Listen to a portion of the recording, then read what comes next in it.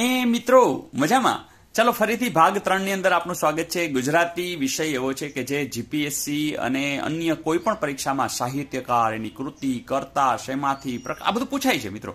પણ આપણે દસમા ધોરણના વિદ્યાર્થીઓ પર પણ એટલું જ ફોકસ છે. તો ભાગ ત્રણની અંદર તમારા સૌનું સ્વાગત છે. મિત્રો, આપણી વાર્તાની અંદર છેલ્લે ક્યાં પહોંચ્યા હતા? યસ બાવન સિંહમાંથી બે સિંહને રમાડવા. હવે તો યસ, જંગલમાં તો આપણે આવી ગયા છીએ.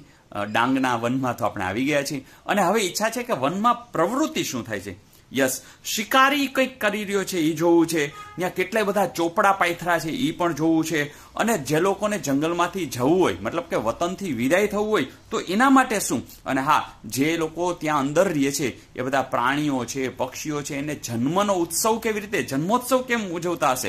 અને હા, અમુક તો સરમાળ હોય અને કાંઈ બોલતા ન હોય, તો એમના માટે શું? યસ આ બધી વાર્તા ફરીથી આપણે જોવી છે અને મોજ કરતા કરતા. તો હવે આપણે ડાંગના વનની અંદર ફરવું છે અને જોવું છે અને શું શું થઈ રહ્યું છે. તો આર યુ રેડી યસ મજા આવી રહી છે ને? તમારી કોમેન્ટ્સની હું રાહ જોઉં છું. તો મિત્રો આપણે ડાંગના વનની અંદર હવે અંદર જઈ અને જોવું છે કે શું શું થઈ રહ્યું છે. મિત્રો ફરતા ફરતા થોડાક અંદર ગયા ને તો એક શિકારી. આ શિકારી છે એ તો શિકાર કરતા હોય. એને આ શું થયું છે? તો શિકારીને પ્રશ્નાર્થ થયું છે શું આ બધું? તો શિકારીની વાત કાંઈ સિમ્પલ છે, મજા આવ્યો છે ત્યાં પીવાની વાત છે. શું પીએ તો મજા આવી જાય? તો શિકારી હાથમાં ભલે બંદૂક છે, પણ કંઈક પીતો જાય છે અને ઉર્મી કાવ્ય મોજથી ગાતો જાય છે. જેને કહેવાય ને કેકારવ કરતા જાય છે. આવું દ્રશ્ય જોવા મળ્યું. હા, અને પીધું શું? તો ખબર પડી કે ત્યાં કલા છે ને એને પી લીધી છે. ઓહો, કલા પીવાથી કેટલો બધો આનંદ થાય છે. તો ઉર્મી કાવ્ય પણ ગાય છે અને કેકારો પણ કરે છે. તમે કહે સર અમને ખબર પડી ગઈ કે અગિયારમું છે ને, એ શું છે? તો કે, શિકારીને. અને એ ઉર્મી કાવ્ય છે. અને યસ કલાપીએ લખ્યું છે. અને લીધું છે શેમાંથી? તો યસ, બિલકુલ સાચું છે કલાપીનો કેકારવ કલાપીનો કેકારવ એ આખે આખો જે ગ્રંથસ્થ છે, બરાબર, એના કાવ્યો એ કલાપીના તો કલાપી તો કેવા, રાજવી, હે સુરસિંહજી તખ્તસિંહજી ગોહિલ. યસ, એ કલાપીનું કાવ્ય શિકારીને. તો મિત્રો, હજી એમ થયું કે આગળ ગયા તો એમ થયું કે, ઓહો, આટલા બધા ચોપડા પડ્યા છે. અને આખી જાણે કે ચોપડાની ઇન્દ્ર ઝાડ બિછાવી છે. આવું દ્રશ્ય જોઈ અને વિચાર આવી ગયો કે આ શું છે? તો થોડાક આગળ ગયા અને જોયું, યસ, કે, ઓહો, હો હો. ચોપડાની ઇન્દ્ર ઝાડ. અને હા, યસ, તો ચોપડાની ઇન્દ્રજાળ અને એમાં પણ ચોપડાઓ કેટલા બધા? ત્યારે ખબર પડી કે આટલી ઇન્દ્રજાળ એટલે બિછાવી છે કે રાત પડે જે ચંદ્ર છે, એ ચંદ્ર છે, એ અહીંથી નીચે ઉતરે છે અને પોતે પોતાની આત્મકથા લખી અને પાછો ઉપર વહી જાય છે. કેવી મજા આવી જાય. તો ચોપડાની ઇન્દ્રજાળ છે, એમાં આત્મકથાના નાના નાના ટુકડા ટુકડા એટલે ખંડ. તો આત્મકથાના ખંડ લખી લખી લખી અને ઉપર વહી જાય. અરે વાહ, તો એ દ્રશ્ય કેટલું મસ્ત હોય. તો મિત્રો, ચોપડાની ઇન્દ્રજાળ. તો મજા આવે એવું દ્રશ્ય. અને યસ તો આવું સુંદર મજાનું દ્રશ્ય તો તમે તરત સર અમને ખબર પડી કે બારમું છે ને ચોપડાની ઇન્દ્રજાળ છે અને એ આત્મકથા ખંડ છે અને ચંદ્ર છે ને પોતે, ચંદ્ર છે એ પોતે જેને કહેવાય ને પંડે પંડે એટલે પોતે, ચંદ્રકાંત પંડે નીચે ઉતરે છે અને એ કામ કરે છે. તો યસ, એ ચંદ્રકાંત પંડ્યા. તમે બિલકુલ સાચું વિચાર્યું છે. ચંદ્રકાંત પંડ્યા. એ ચંદ્રકાંત પંડ્યા છે, એ એનું આત્મકથા ખંડ છે. શેમાંથી લીધું એવું કંઈ છે ને? તો ચોપડાની ઇન્દ્રજાળ. તો બિલકુલ સાચું છે. બિલકુલ એટલે બિલકુલ સાચું છે. તો યસ, અને હવે? યસ, તો હવે વાત એવી છે કે પછી એવો વિચાર આવ્યો કે બધા, ધારો કે કોઈને બારગામ જવું છે. તો બારગામ જવું હોય તો શું? મિત્રો, થોડાક આગળ ગયા ને, તો ખબર પડી કે આટલી બધી નેટ પાથરેલી છે. પૂછ્યું તો ખબર સો જેટલી નેટ પાથરી છે. અને આ નેટની અંદર આ શું છે?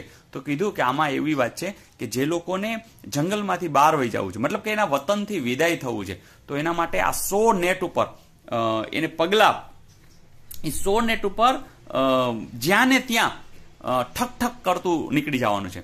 તો અવાજ ન આવવો જોઈએ. અવાજ આવે તો ખાલી પા જેટલો આવે ને તો વાંધો નહીં. પા જેવો ઠક ઠક અવાજ કરીને જ્યાં ત્યાં આવી રીતના પગલા પાડી અને બાયણે નીકળી જવાનું. તો વતનથી વિદાય થવું એટલે આવી સો નેટ ઉપર તમારે જ્યાં ને ત્યાં પા જેટલો અવાજ આવે એવા ઠક ઠક ઠક ઠક અવાજ કરી અને તમારે નીકળી જવાનું. તમે કહેશો, સર, અમને બધી ખબર છે. તમે ભલે વાર્તા કયો. અમે તો બધી પુસ્તકમાં બધું વાંચી જ લીધું છે.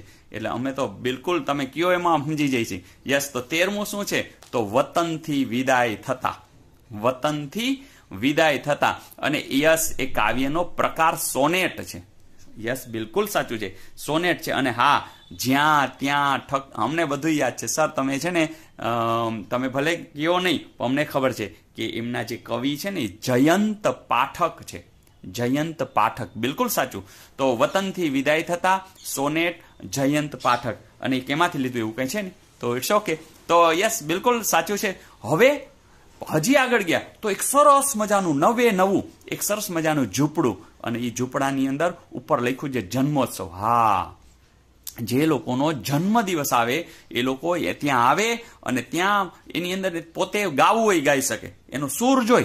સૂર જોશે. સૂર હોય તો જ ગાઈ શકે. તો જે લોકોને સૂર હશે, એ ત્યાં આવશે, જન્મોત્સવ માણશે, નવે નવું સરસ મજાનું છે. એની અંદર હાર્મોનિયમ તબલાન મંજીરાન મંજીરા બધું છે. પણ સૂર જોશે. તો એને શું કરવાનું? અંદર પ્રવેશવું પડશે, એટલે ગૃહ પ્રવેશ કરવો પડશે. બિલકુલ બિલકુલ બિલકુલ બિલકુલ.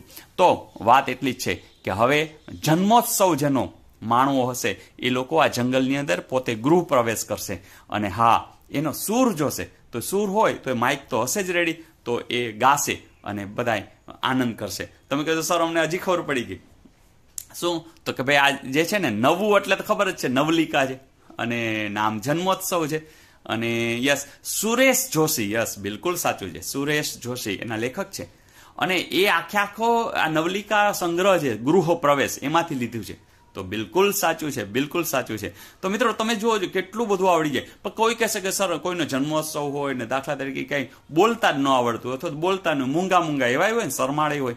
તો એના માટે શું? તો એના માટે પણ વ્યવસ્થા છે કે દાખલા તરીકે, ધારો કે કોઈ બોલતા જ નથી, તો એના માટે તો રાજા પોતે આવે. રાજા, એટલે આખા જંગલના રાજા હોય ને, એ એ, એને, એ રાજા ઇન્દ્ર જે હોય ને, એવી એની ખુરશી એ નાખી છે. તો એ ત્યાં આવે અને પોતે પો કાંઈ બોલે નહીં. ત્યાં બેસે અને જો બાજુમાં સાઈનો ખડિયો છે એ સાઈના ખડિયાથી ગીત લખે એના માટે. અને બસ એ ગીત ત્યાં મૂકીને વહી જાય. એટલે રાજા પોતે આવીને ગીત લખે, એટલે એ કાંઈ બોલે નહીં અને ઓલાય કાંઈ બોલે નહીં. બિલકુલ સાચું છે કે હવે પછીનું છે ને, એ ગીત છે, એમાં બોલીએ ના કાંઈ. કોઈ કાંઈ બોલે નહીં. બરાબર રાજા ઇન્દ્ર પણ શું કરે? શાહીથી લખે, એ ગીત લખીને વહી જાય. તો મિત્રો, તમે સાચા છો. પંદરમું છે, એ બોલીએ ના કાંઈ છે. રાજા ઇન્દ્ર, શાહી, અરે, યસ યસ યસ. તમે સાચા છો. રાજેન્દ્ર શાહ રાજેન્દ્ર શાહ. અને હા, એ ગીત છે. એ પ્રકાર શું છે? ગીત છે. તો બિલકુલ સાચું છે. તો મિત્રો, તમે જોયું કે તમને હવે બધું યાદ છે. તો એકવાર ફરીથી જોઈ લઈ સિંહને રમાયડા છે અને યસ, સિંહને રમાયડા પછી તમે લોકો ખબર છે કે સીધા જંગલની અંદર ચક્કર મારવા જાવ તો શિકારીને, યસ, શિકારીને અને યસ, ઉર્મી કાવ્ય છે, કલાપી છે, કલાપીના કેકારોમાંથી લીધું છે, યસ, કવિ છે, ખબર છે. આગળ ગયા છે, તમને ખબર છે, શું છે? તો યસ, ચોપડાની ઇન્દ્રઝાળ છે. અને હા, એ તો આત્મકથા ખંડ છે. અને એનાથી પણ આગળ તમે જાણો છો કે એના જે લેખક છે એ કોણ છે? તો કે ચંદ્રકાંત પંડ્યા. ચંદ્રકાંત પંડ્યા છે. અને યસ પછી તો એ કેમાંથી લીધું તો છે નહીં. યસ, અને પછી, તો પછી છે વતનથી વિદાય થતા. વતનથી વિદાય થતા. અને યસ, સોનેટ છે, બિલકુલ. અને જયંત પાઠક. બરાબર ને? જયંત પાઠક. બિલકુલ. એ કેમાંથી લીધું? એ કંઈ છે નહીં. અને હા, પછીની ખબર છે. પછીનું શું છે? યસ, બિલકુલ બિલકુલ બિલકુલ. તો એ છે જન્મોત્સવ અને એ છે નવલિકા છે. વેરી ગુડ નવલિકા એટલે વાર્તા, હો, બીજું કંઈ છે નહીં. નાની વાર્તા હોય નવલિકા કહેવાય. તો યસ, નવલિકા છે અને હા, સુરેશ જોશી. યસ, સુરેશ જોશી. અને એ જે આખો સંગ્રહ કયો હતો? તો કે ગૃહ પ્રવેશમાંથી લીધું છે. અને હા, પંદરમું પંદરમું પણ બિલકુલ તમને યાદ છે. પંદરમું છે એ બોલીએ ના કાંઈ. બોલીએ ના કાંઈ. અને એ ગીત છે. કોનું છે? રાજેન્દ્ર શાહનું. એ પણ શેમાંથી લીધું ખબર નથી. તો મિત્રો, પાંચે પાંચની ખબર છે? ચાલો એક વાર નજર કરી લઈએ અને યાદ કરી લઈએ. મિત્રો, તમને બધું યાદ છે? અને હવે અગિયારમું કોઈ પૂછે તો તમને ખબર છે કે પહેલું કોણ હશે? શિકારીને. ઉર્મી કાવ્ય હશે? કલાપી અને કલાપીનો કેકારો. યસ, બિલકુલ સાચું છે. શિકારીને અને યસ, ઉર્મી કાવ્ય અને કલાપી અને કલાપીનો કેકારો. હજી આગળ ખબર છે. ચોપડાની ઇન્દ્રજાળ યસ, આત્મકથાખંડ છે, ચંદ્રકાંત પંડ્યા છે અને શેમાંથી લીધું કંઈ? નથી ક્લિયર બરાબર?